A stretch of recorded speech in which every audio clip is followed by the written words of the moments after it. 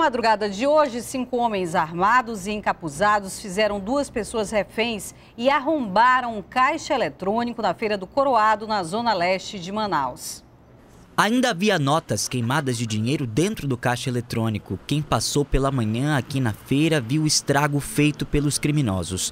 Tudo aconteceu às duas da manhã. Paulo César trabalha como vigilante no Coroado há seis meses. Na delegacia, ele registrou a ocorrência e disse que foi agredido pelos bandidos.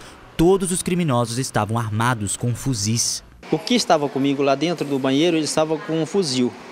E eu ouvi eles falando lá fora, dizendo o seguinte, olha, se aparecer alguma viatura aqui, pode meter bala, porque eles estão com revólver e nós estamos com fuzil. E essa não é a primeira vez que tentam arrombar o caixa eletrônico. O gerente da feira contou que em março o mesmo grupo tentou furtar o equipamento. Seis pessoas ficaram reféns. Aí já estava previsto. Eu já tinha avisado a secretaria, já emiti até um documento para lá para retirar o caixa. Porque o problema não é, não é só cortar, o problema é meter uma, uma dinamite aí, né? E a, e a gente trabalhar em cima da administração e aí, meu filho. O caixa eletrônico ficou destruído. E quem trabalha aqui reclama da falta de patrulhamento da Polícia Militar, já que logo atrás da feira tem um quartel da PM. Não tem ninguém principalmente é de domingo. Policiamento nós não temos aqui, deveria ter por causa desse caixa aí, realmente. Nós não temos. O vigia ele não vai dar conta, um vigia só, né? Nós só temos um vigia nessa feira. Os bandidos ainda não foram localizados. A Polícia Federal é quem deve investigar o caso. O Aeroporto Internacional Eduardo Gomes registrou duas das 11 suspeitas de bomba aqui na capital. Por isso, foi implantado no local um sistema que detecta explosivos. Marta veio do Rio de Janeiro e passou pelo procedimento. É, se for para o bem da população, acredito que seja ótimo, né? Acredito que vá melhorar bastante. Manaus é a única cidade que tem o um sistema de detecção de explosivo e começou a funcionar no dia 1 deste mês. E é aqui no check-in que todo o processo inicia, porque as bagagens são levadas para uma área restrita para fazer a vistoria. Por aqui, os passageiros estão mais tranquilos. Depois da vistoria, seu Olinto se sentiu seguro. Seria até um um, um motivo de outras cidades copiar o que é bom. Antes, o processo era feito manualmente, agora é 100% automático. O sistema tem capacidade para inspecionar 1.200 bagagens por hora. Aqui, se algum objeto suspeito for detectado, a mala é levada para o raio-x. A partir do momento que a empresa que o operador aéreo ele identifica qualquer é, massa explosiva, uma suspeita de massa explosiva em qualquer bagagem, essa bagagem ela é separada das demais e é dado um tratamento, né, um, é utilizado um protocolo específico a partir desse momento. O trabalho é todo monitorado pelo Centro de Gerenciamento do Aeroporto, que funciona nessa sala. E quem vai cuidar dos explosivos suspeitos é a Polícia Federal. Segundo o superintendente do aeroporto, o sistema era planejado para operar desde 2015. Manaus foi, foi escolhida por conta da, da, da conclusão da obra de, de, de do aeroporto. Né? Nós temos aqui um terminal de passageiro novíssimo, foi inaugurado agora em 2015, e junto com esse terminal nós colocamos esse equipamento novo. Ao todo foram investidos 11 milhões de reais pela Infraero para montar o sistema no aeroporto de Manaus. As quatro seleções femininas estão hospedadas no Hotel Tropical na Ponta Negra e por lá o clima é de concentração para as partidas de amanhã. Logo na entrada, um veículo blindado do Exército. É, por aqui a segurança foi bem reforçada. Bastante reforçado, deu para perceber. Revistaram o carro, tudinho? Inspecionaram o carro direitinho, mala, tudo, tudo direitinho. A gente veio para conhecer o hotel, nós somos de São Paulo, somos turistas e não pudemos entrar. Nos informaram agora que é por causa da seleção somente americana, acho que está aí, né? Então tem que ser uma segurança maior. Por falar nos Estados Unidos, as americanas até andaram por aqui, mas não quiseram falar. Com as jogadoras da seleção brasileira, foi a mesma coisa. Aqui no hotel, o clima é de concentração total. Nada de fotos, nada de autógrafos, nada de entrevistas. No máximo, um tchauzinho. Só lá dentro do hotel, um soldado do exército encontrou uma brecha para tietar as atletas. Mas do lado de fora, nada de torcedores. Muitas jogadoras resolveram sair dos quartos para conhecer melhor o local quem também passou por aqui e fez algumas compras foi o técnico da seleção brasileira, Oswaldo Osvarez. Além do Brasil, as colombianas estão hospedadas aqui.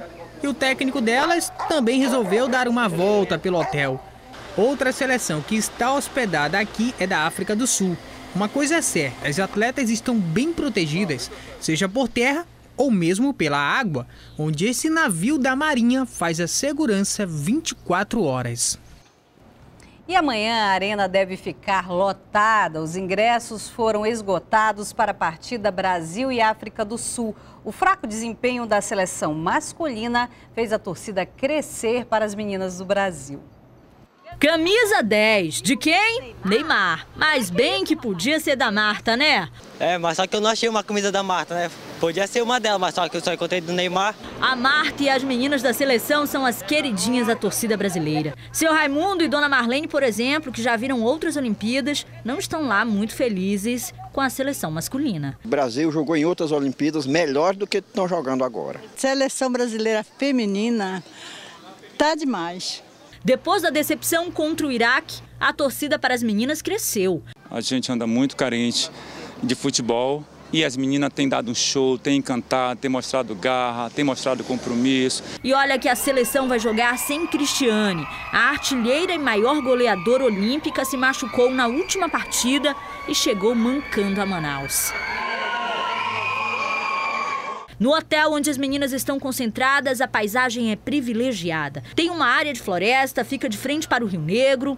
A Mônica e a Raquel decidiram passear. Ficaram boa parte da manhã aí sentadas diante do Rio Negro. Preferiram não dar entrevista. Os ingressos para a partida contra a África do Sul já estão esgotados. A seleção feminina vai entrar em campo já classificada para as quartas de final. Deve ser o maior público da Arena da Amazônia nesse torneio olímpico de futebol. E vai ter gente nas arquibancadas que conhece bem a história das meninas. A catarinense Jennifer Becker, ou Jenny para a torcida, volante do Iranduba, time amazonense, já passou pela seleção feminina sub-20.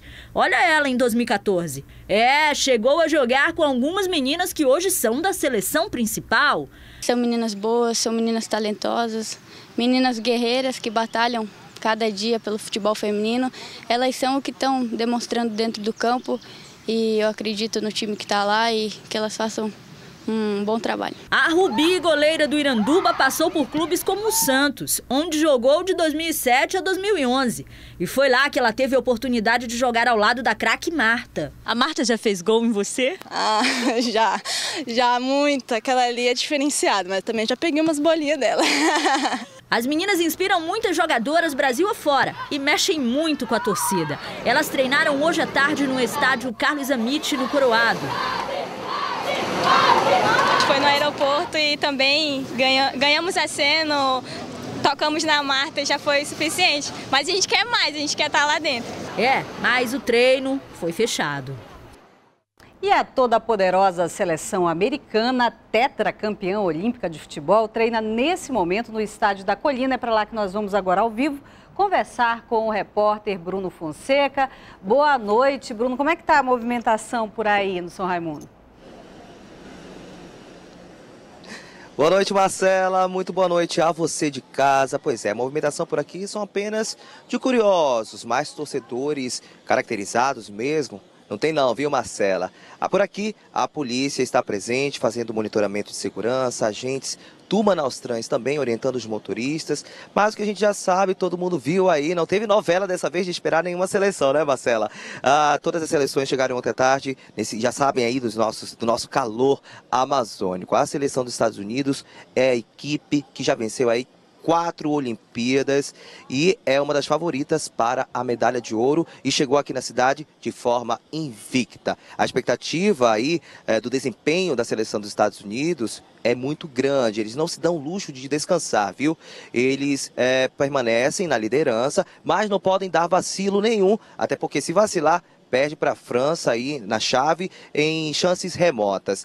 Para você que conseguiu o seu ingresso e vai assistir amanhã uh, os Jogos Olímpicos a partir das seis da noite lá na Arena da Amazônia, não vai ter nenhum problema. Agora, quem não comprou, não compra mais. Segundo o Comitê Olímpico local divulgou que todos os ingressos já foram esgotados e a Arena espera aí aproximadamente 40 mil pessoas. A gente vai mostrar agora aqui o trânsito controlado pelos agentes do Manaus Trans, apenas até o fim aqui do, do treino. Vai ficar interditado essa parte uh, do, do centro bairro bem próximo à colina, uma rua apenas. Eles estão orientando para a dobra aqui à direita para a Avenida São Raimundo. A gente encerra aqui, Marcela, o nosso ao vivo com essas imagens. Agora eu lhe pergunto, Marcela, eu fico aqui na torcida. E você? Qual que é a sua torcida? Eu volto com você no estúdio. Olha, a minha torcida é para que não tenha nenhum mosquito aí, né? Para não aperrear aí a roupa. Tem, tem mosquito por aí? Tem não, tem não, chefa, não tem não. Eu volto com você no estúdio. Bom para americano, né? vai ficar tranquilinho. O Jornal em Tempo fica por aqui, a gente volta amanhã. Até lá.